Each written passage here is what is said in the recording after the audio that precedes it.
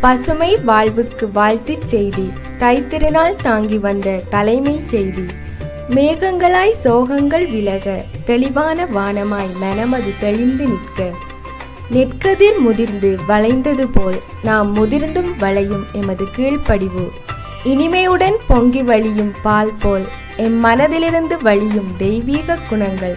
கதிரவன் மேல் நின்று கதிர்களை பரப்ப இறைவனின் சக்தி கதிர்கள் எம்மீது பட்டு வாழ்வோம் எமது வாழ்க்கையை இனிமையாக.